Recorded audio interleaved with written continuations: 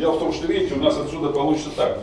Э, в том и в другом случае одинаково, совершенно одинаково выглядит связь k пополам с э, n пополам. Двойки сокращаются, k остается так. np делить на a. Поэтому смотрим h квадрат на 2m. Да? А вместо k квадрат я пишу, значит, вот что. Э, n, ну, во-первых, я a на p, нет, вернее, там, наоборот, p деленное на a, p деленное на a в квадрате, да, вот так вот, и n в квадрате. Вот как выглядит спектр. Здесь n принимает значения такие, смотрите, 1, 2, 3 и так далее. Одинаково. Но решение у нас будет чередоваться. При нечетных n это будут четные решения с косинусом связаны, а при четных n это будут синусоидальные решения, то есть нечетные решения. Итак, спектр, таким образом, видите, ну я еще раз перепишу, это будет π квадрат h квадрат на 2m а квадрат и n квадрат. n квадрат. Вот так выглядит спектр. Ну а теперь давайте я нарисую некоторые решения, некоторые решения нарисую. Э, значит, ну вот давайте вот здесь нарисуем эти решения.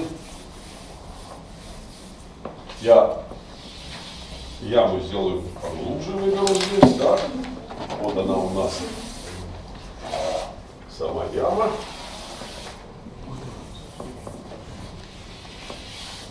Так, и вот теперь я давайте вырисовывать буду решение при, начиная с n равно единице, оно соответствует основному состоянию. При n равном единице у меня значит, э, k сюда надо подставлять, да? При n равном единице, где-то мне надо еще ввести. А, ну давайте здесь вот. Так, n равняется единице. Значит, вот я отсюда беру, k равняется у меня k равняется π делить на π делить на a. И решение так выглядит косинус px делить на a. Ну и давайте я его нарисую. Косинус px делить на a. Ну, здесь можно прямо написать cg. 1 это равняется единице. Ну, вверху давайте я напишу n единичка. Это будет, значит, c g 1 на косинус π делить на а x. Это вот волновая функция основного состояния. Ну как она выглядит? Значит, на границе, здесь граница а пополам, плюс-минус а пополам, значит будет косинус π пополам 0. А в центре, когда x равно нулю, это будет единичка, это будет cg вот как раз. То есть она вот так будет функция выглядеть. Это вот просто половинка косинуса. Половинка косинуса. Половинка косинуса. Такая колоколообразная функция, да? Но, ну, на самом деле, почти точно колокола. Не, даже не колоколообразная, а почти колокольная функция. Почему? Ну, видите, вот здесь вот на границе 0. 0. Обрывается функция вообще. В 0 обращается на границе. Кроме того, надо обратить внимание, тут функция четная относительно инверсии, так? А во-вторых, нет узлов функции, ведь ни одного узла нет, ну, кроме вот этих граничных значений нулевых. А, а нетривиальных нулевых значений узлов нет. Идем дальше. Следующая функция. Следующая функция будет при n равном двойка, но это уже будет синусоидальная функция. Смотрим сюда. Значит, при n равном двойка, ну здесь э, в два раза просто увеличу, 2π на а. И следующая функция psi будет, пишу n равно двойка, значит двойка. Это будет cu двойка на синус 2π на а x. Значит, на границе x плюс-минус а пополам. Ну, это синус плюс-минус π, 0. Дальше в центре тоже 0. В центре тоже 0. Значит, это будет полный синус. На самом деле полный синус. Ну, я это у меня основное состояние, энергия у меня же выше стала, да? Вот я где-то здесь нарисую функцию новую. Вот такого вида будет функция.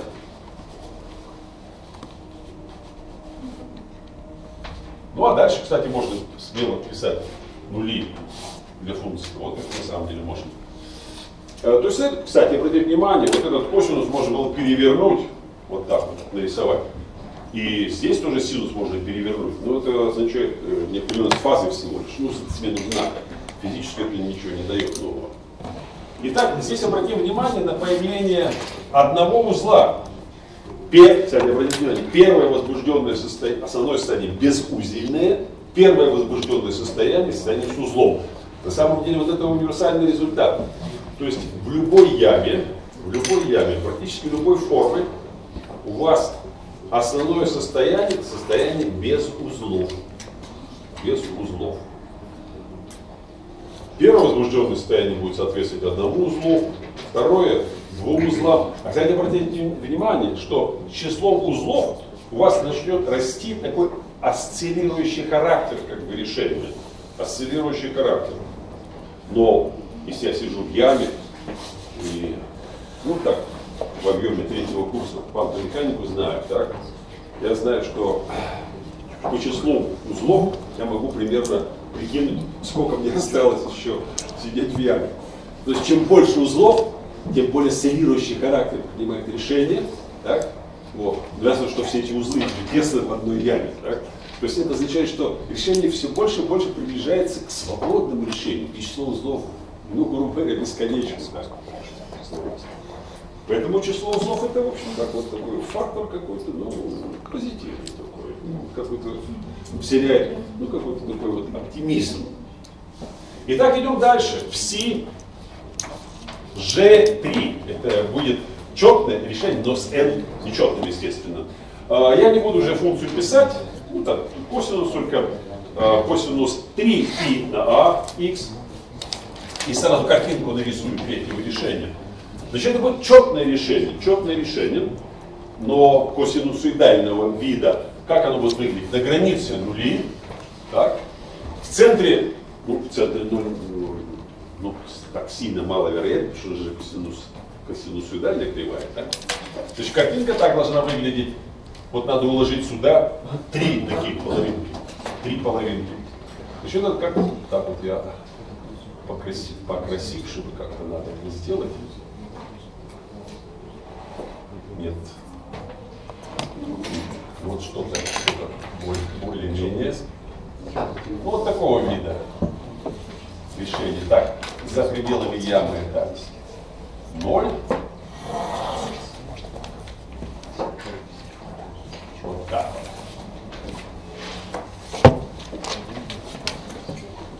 Ну и так далее, опять 0.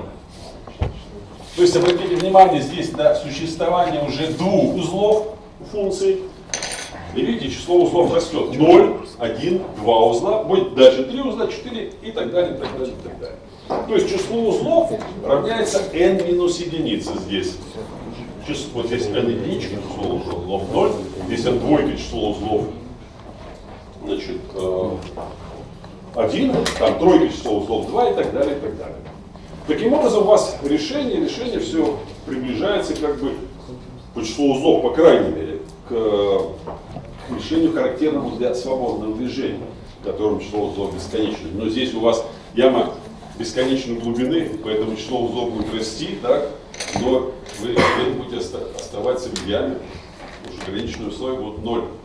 Вот. Поэтому у вас плотность, плотность э, узлов на квадратный сантиметр, вот, ну, в данном случае просто на сантиметр, просто будет расти колоссально, конечно, в том случае, когда вы э, по энергии будете подниматься. Вот такое решение для бесконечно глубокой ямы. Вот давайте теперь сразу прикинем, а что же будет для ямы конечной глубины? Для ямы конечной глубины. То есть интуитивно просто посмотрим, интуитивно, что же будет. То есть пока просто прикинем, прикинем. Итак, если яма будет иметь конечную глубину, то я примерно так же сделаю, значит, вот здесь дно ямы 0 потенциал вот такого вида решения. Что здесь будет?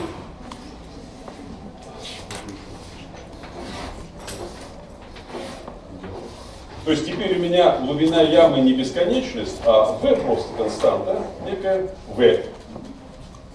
Ну или v0 можно было, ну просто v, чтобы лишнюю сущность не добавлять. Здесь просто v константа. Что мне будет? А дело в чем. Дело в том, что теперь видите как. Теперь у вас в областях, так смотрим, 1, 2, 3. Как будет выглядеть решение? Э, ну, начнем, во-первых, с, э, с э, первого случая А, когда Е меньше В0.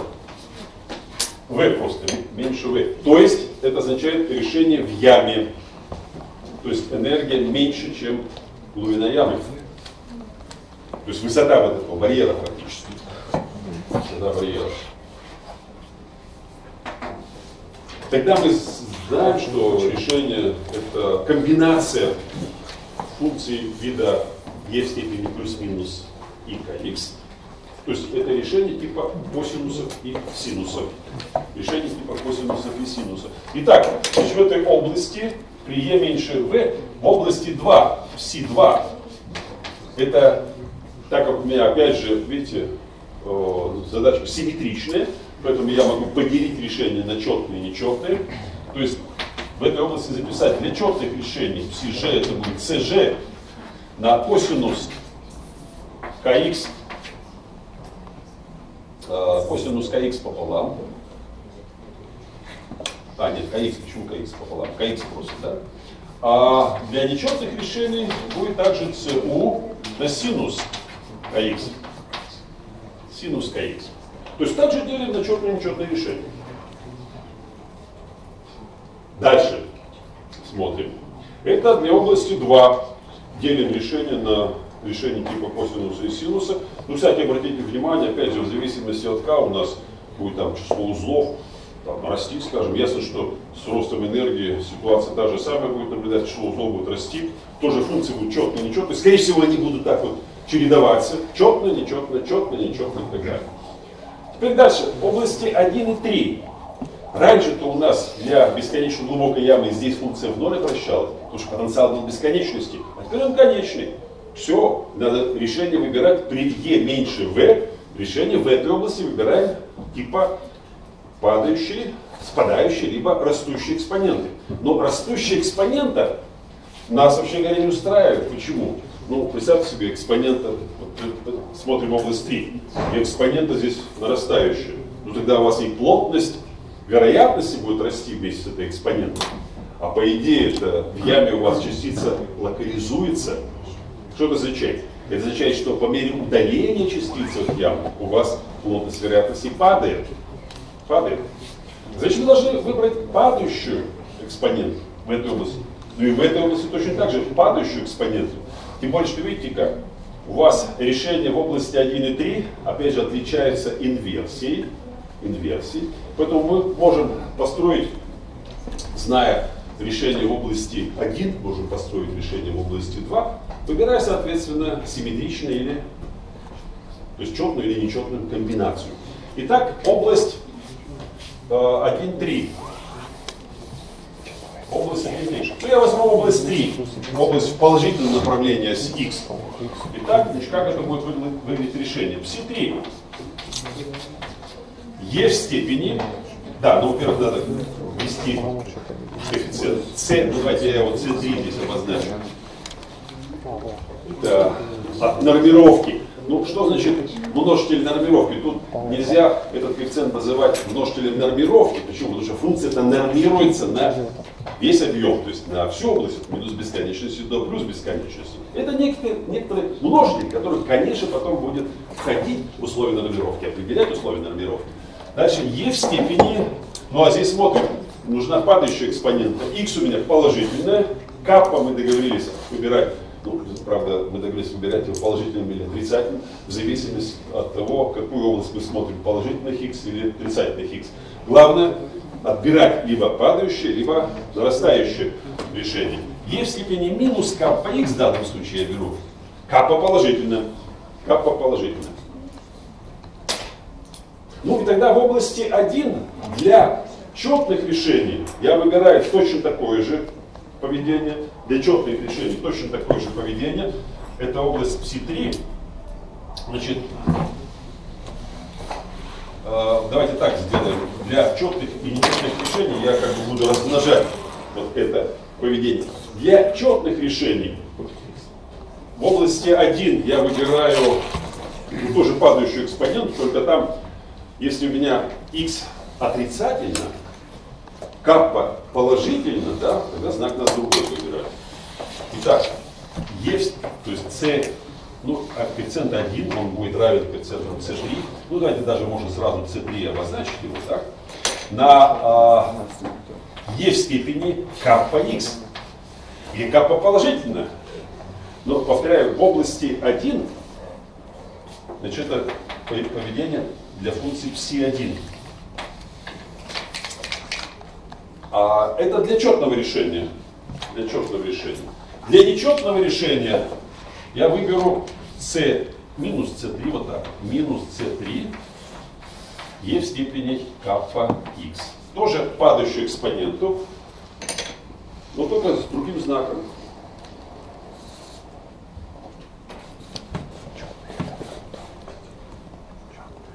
И теперь давайте представим себе как выглядят эти решения.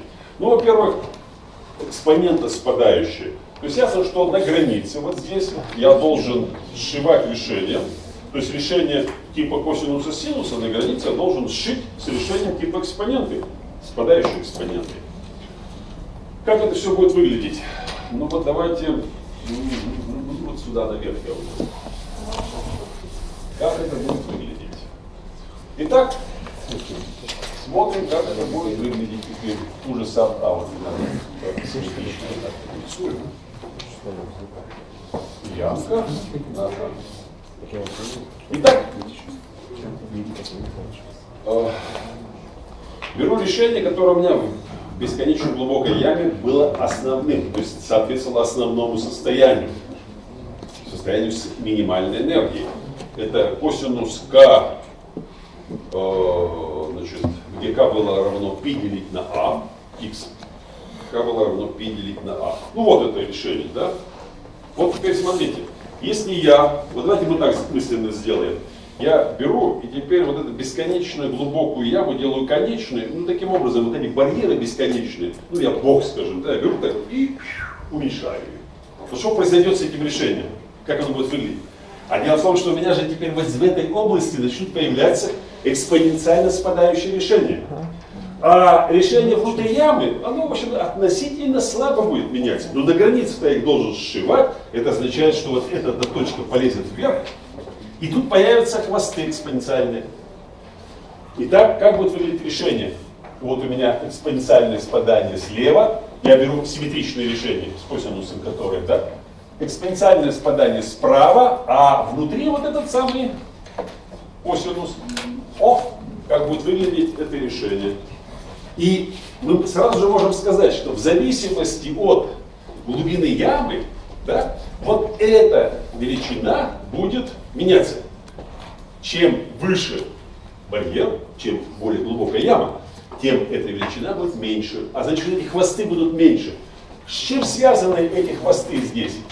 Они связаны с эффектом, который называют квантовой механике туннель. туннель. Или еще иногда говорят, они связаны с подбарьерным туннелированием. С подбарьерным туннелированием.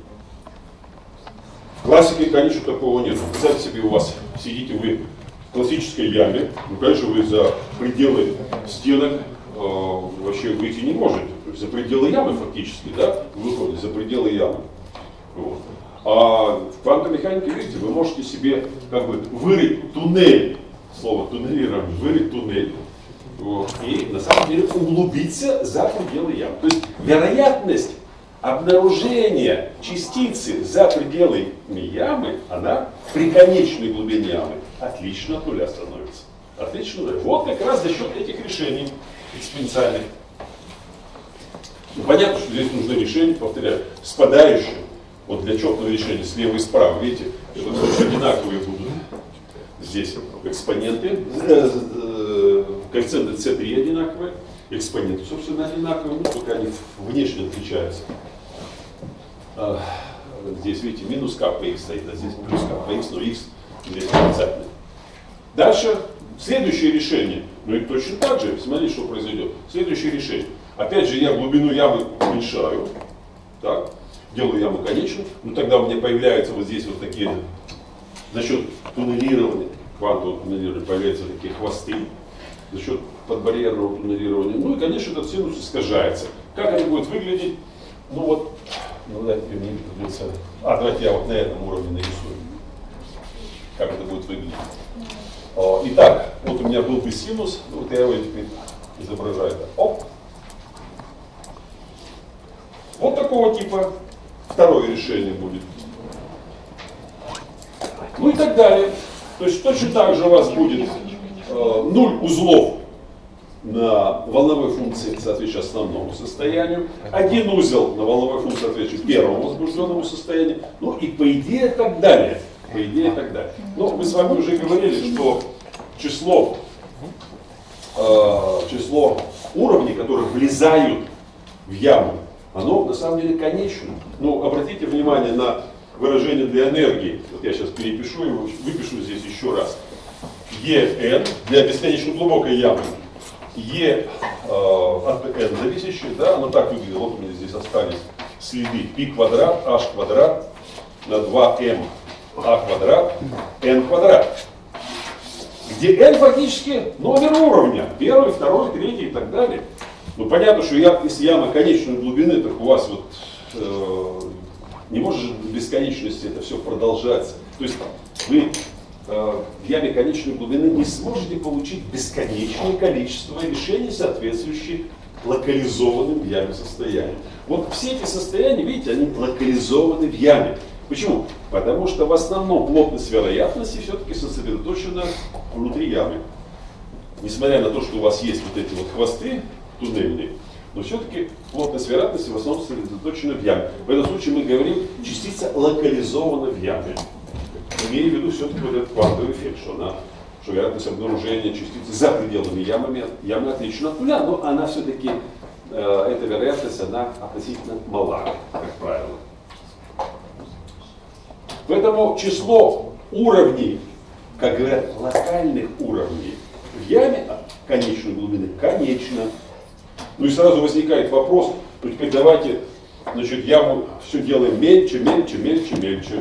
Вот. Что в этом случае произойдет? Ну на самом деле это интересный будет эффект. Уровни локальные вот выскакивают так бы так все. И будет меньше, меньше, меньше становиться. Вот. Ну и в конце концов мы дойдем до одного уровня всего. И можно доказать теоремку, э, ну вот я вам сейчас задание на дом дам, доказать теорему, согласно которой в прямоугольной, одномерной прямоугольной яме э, всегда есть как, хотя бы один локальный уровень. Хотя бы один локальный уровень. То есть это означает, что частица может локализоваться даже на яме ну, любой, сколь угодно малой глубины. Ну, правда, видите, это тоже все на самом деле относительно. Что это означает? Означает, что чем меньше у вас, чем меньше глубина ямы, тем вот эти хвосты, они все более значительные станут. Поэтому локализация это будет тоже относительной, конечно. Тоже у вас эффект туннелирования в этом случае будет все более и более значительным, и роль хвостов туннельных будет возрастать. Ну а э, если энергия у вас больше, чем V, то есть если вы э, находитесь вне ямы, движетесь как бы вне ямы, ну тогда интересно, тогда у вас во всех областях 1, 2 и 3 решения должны быть, должны иметь экспоненциальный вид. Экспоненциальный вид. Как в этом случае быть? Итак, в случае B то есть второй случай давайте рассмотрим. А, я же не помню, как я их там обозначал. Итак, второй случай. Когда энергия больше V. Больше V. То есть это означает, что у вас во всех областях во всех областях, э, энергия больше потенциала, больше потенциальной энергии. То есть э, во всех областях решение будет экспоненциально. Ясно, что в этом случае все-таки надо исходить из решения вида e в степени плюс-минус и kx, вот такого вида. Так? Но на границе также сшивать вот такого вида, типа решения. Вот. Но легко видеть, что вот в этом случае у вас решение будет соответствовать инфинитному движению. То есть это э, соответствует делокализованным состояниям. Дело в том, что плоская волна, видите, она с равной вероятностью задана во всем пространстве. Плоская волна. Если она не ограничена, как вот в случае, видите, косинус это кусок плоской волны мы взяли, вводя граничные условия. Но ведь здесь у меня таких граничных условий, которые зарезали эту функцию, нет. У меня есть, конечно, граничные условия, которые соответствуют сшиванию, сшиванию решений, но эти решения будут типа плоских волн. И на этой границе, и на этой границе. И здесь условия локализации нигде нет. То есть мы имеем дело с делокализованным в пространстве состоянием, или, как говорят еще, итинерантным таким состоянием, от слова итинерант блуждающий, английский, по-русски, блуждающий. Ну, чаще надо говорить, конечно, дело, вернее, точнее будет говорить делокализованное состояние. Итак, мы будем иметь дело с делокализованным состоянием. Также на границе, значит, повторяем, мы их сшиваем. Вот. Но эта задача вот э, с Е больше В, она э, типична для задач типа рассеяния. Ну, вот я, собственно, об этом уже упоминал. То есть представьте себе, вы едете по дороге, э, и на дороге яма. Вот логика какая.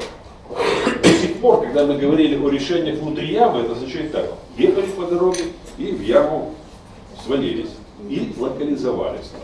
Вот такая ситуация. Нормально, да?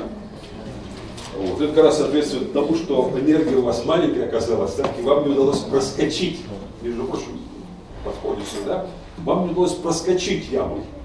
Но если у вас энергия достаточно большая, вы проскакиваете яму. Но тем не менее, ведь э, эффект от ямы все равно какой-то останется.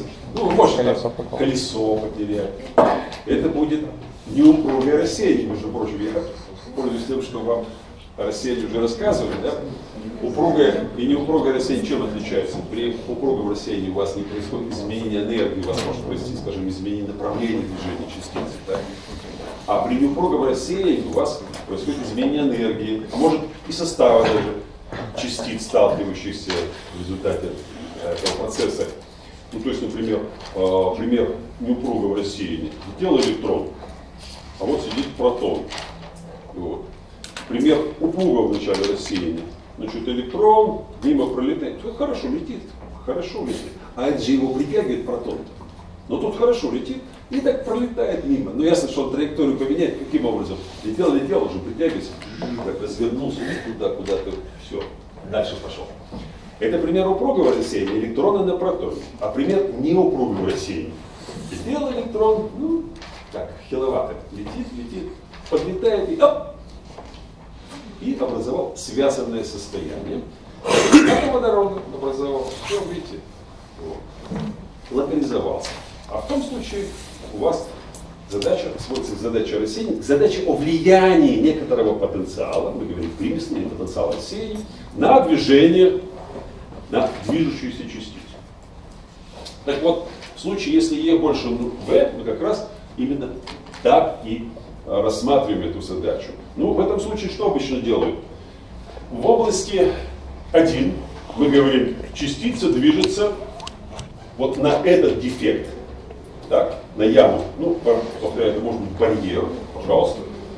Значит, э, барьер, когда вот сюда надо было его, вот это сюда опустить, а это поднять сюда, да, то есть вывернуть яму, барьер будет.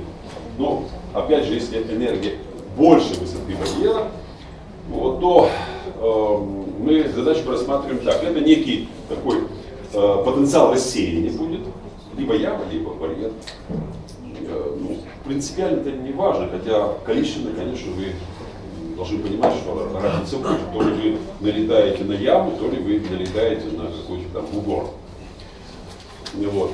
Итак, вы рассматриваете задачу следующим образом. Частица падает слева направо, то есть движется в положительном направлении оси x, это означает, что в области 1 падающая волна описывается как e в степени psi1 при x, стремящемся к минус бесконечности, описывается как e в степени и kx. Вот это будет как бы начальное условие у вас для задачи рассеяния. Движется в положительном направлении оси x. Дальше что-то с ней происходит. Вот здесь как раз мы начинаем смотреть эти решения в области 1, 2, 3, связываем их и так далее. Но на больших расстояниях, при x стремящемся плюс бесконечности, вы снова имеете решение типа e в степени и kx, да? Но у вас еще добавляется из-за рассеяния, у вас добавляется еще э, отраженная волна, которая при x стремящемся к минус бесконечности будет вести себя как e в степени минус kx. То есть задача будет выглядеть так. В результате рассеяния у вас решение после рассеяния будет представлять собой падающую или проходящую, теперь мы ее назовем, проходящую волну и отраженную, ну или говорят рассеянную волну, отраженную волну еще. Вот. В нашем случае, в случае таком одномерном, конечно. Ну, в случае там двумерный или двухмерный вообще примерно обобщается. Вот так примерно, опять же, рассматривать задачу, это я, так сказать, э, такими крупными мазками ее наметил, задачу э, рассеяния. В случае, если энергия у вас выше, чем высота барьера, ну или в данном случае выше, чем вот эта высота этого барьера, то есть выше, чем глубина ямы. Э, вот так работает в случае значит, э, одноявного потенциала. Значит, вот задача об одноявном потенциале, вот такой одномерной прямоугольной потенциальной яме, она приведена во всех учебниках квантовой механики. Вот. Причем э, в учебниках, ну правда не во всех, не во всех, но в задачниках по квантовой механике переведено детальное решение задачи движения частицы в яме конечной глубины. Вот. Это будет вам некое задание для вот такой самостоятельной проработки. Я, не общее наметил здесь э, проблемы. Ну, а детально вы это все должны разобрать сами. Значит, я вам напомню, я вам рассказывал уже один раз, Ницца, университет Э, София Антиполис, дворец, прекрасный парк. И тут такая доска объявлений физфака этого университета. И там после сессии